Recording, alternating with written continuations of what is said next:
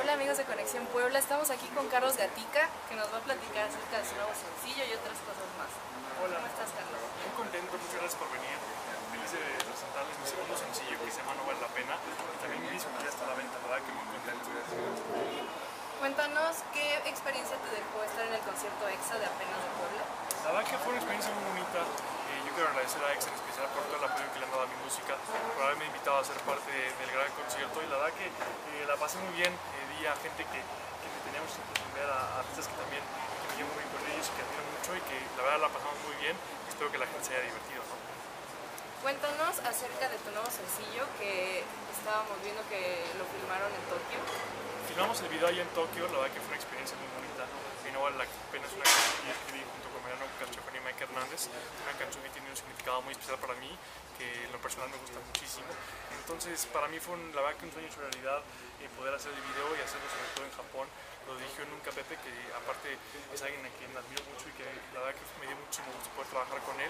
La pasamos muy bien, lo dirigió él y la verdad que me encantó cómo quedó y para la gente que lo quiera ver ya lo pueden checar ahí a través de los canales de videos y en YouTube también.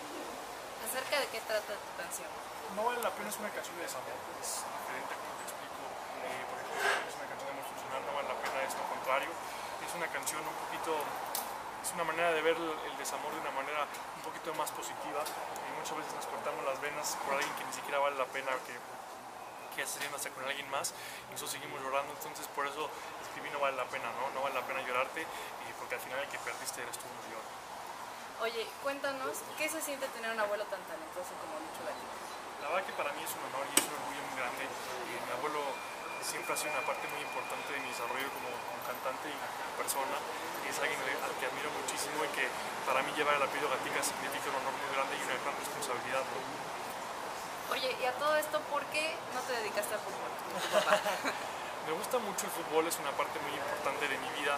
Eh, la voy de Cruz Azul, jugué fútbol durante muchos años, eh, pero al final me gustó más la música, me llamó más la parte del apellido Gatica, me llamó más eh, la cantada, la composición. Y la verdad que estoy disfrutando mucho lo que estoy viviendo ahorita. Estoy empezando a cumplir mis sueños, mis metas y bueno, echarle muchas ganas con mucha humildad y esperando que la gente le siga gustando mi proyecto. ¿Qué experiencia te llevaste en las Olimpiadas de Pekín como cantautor?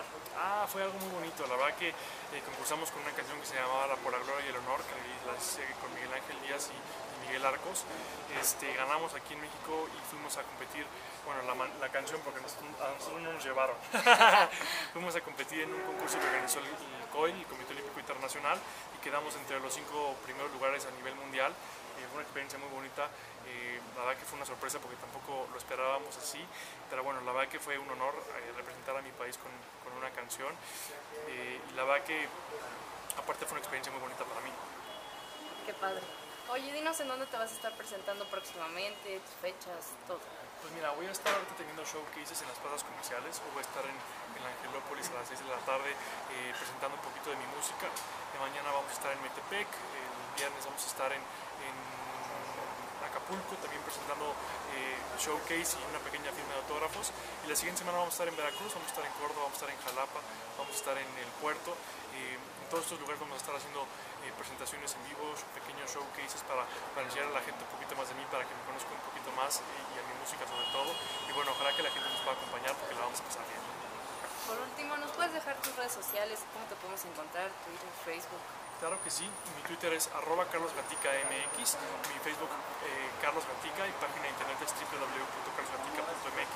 Bueno, ahí estamos en contacto. Es un gusto, Carlos. No, hombre, al contrario, gracias a ustedes por hacer tiempo de venir, gracias a la gente de Puebla por todo el cariño que le han dado a mi música y a mí.